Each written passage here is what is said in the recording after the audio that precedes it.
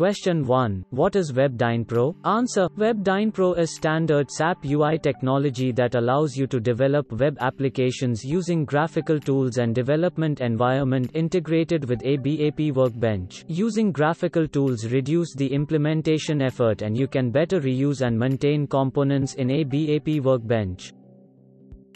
2. What are the different controller types in WebDynPro application? Answer, O component controller O custom controller O configuration controller O view controller O window controller.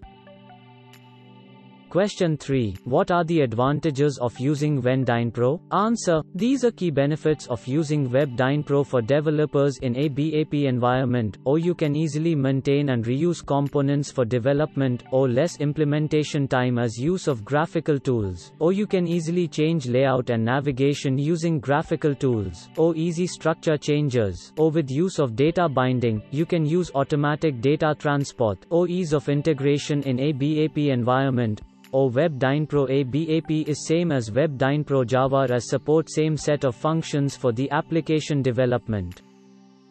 Question 4. What are init events and in what sequence they are triggered in WebDynPro? Answer. O WDDOINIT of component controller or WDDOINIT of window controller or WDDOI NIT of view controller.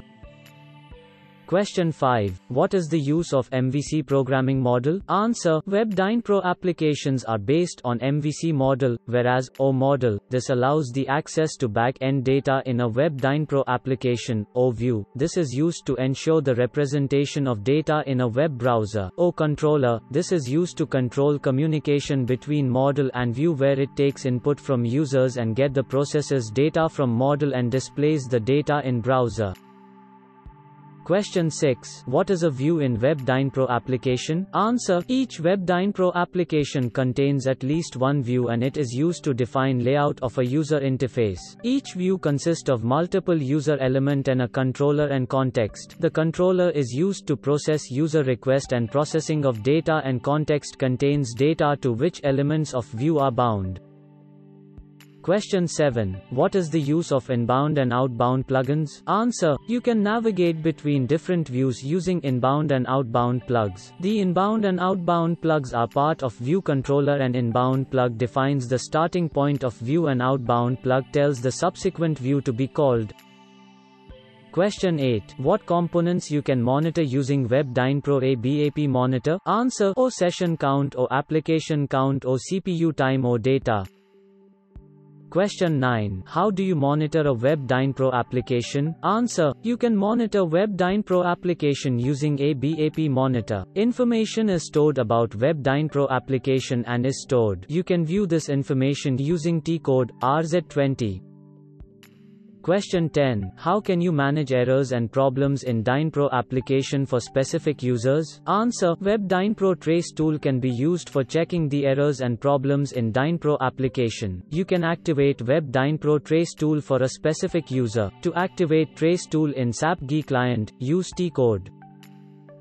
Question 11. What different administration tasks you have performed in DynPro? Answer. In Web DynPro ABAP administration, you can perform various administration tasks using different tools minus or ICM tracing or Web DynPro trace tool or browser tracing or logging or security.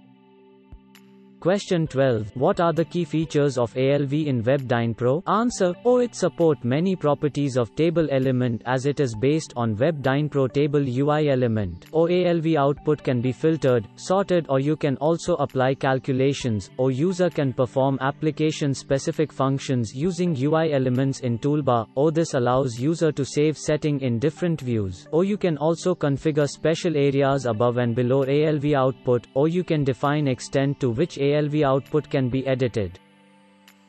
Question 13. What are the advantages of using ViewSet? Answer. Below are few advantages of ViewSet in designing an application, or you can reuse views in a Web Pro window, or you can easily make changes to layout at later stage, or more structured approach to use more than one view.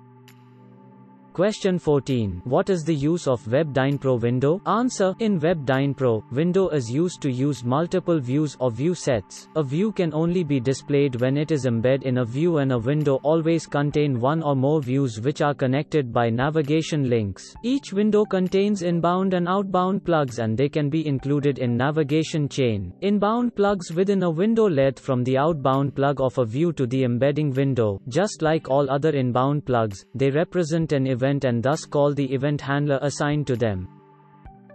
Question 15. How do you manage communication between different controllers? Answer. You can create events to enable communication between controllers. You can allow one controller to trigger events in different controller. All events that you create in component controller they are available in component. Question 16. What is global and local controller in WebDynPro? Answer. In global controller, the data declared in this can be accessed by all views and window in that component. View controller is a local controller for that view and can't be accessed by other controllers. Question 17. How do you call a WebDynPro application? Answer. In a WebDynPro application, component window has an inbound plug. This inbound plug can have parameters, which have to be specified as URL parameters. Default values that are overwritten by the URL parameters can be set in the application for these parameters. If neither a default value nor a URL parameter is specified, a runtime error is triggered. Question 18. What is a faceless component? Answer. Faceless components in WebDynPro doesn't contain any graphical components, no views or no windows. It only contains a component controller and you can add an additional custom controller.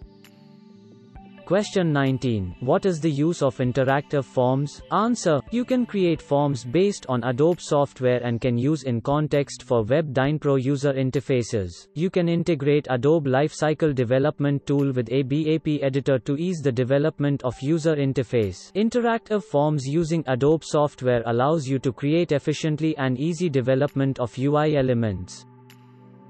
Question 20. Why do we use faceless component? Answer. Faceless components are specifically used for receiving and structuring the data. Faceless components can be embedded to other components using component usage and you can supply the required data to these components.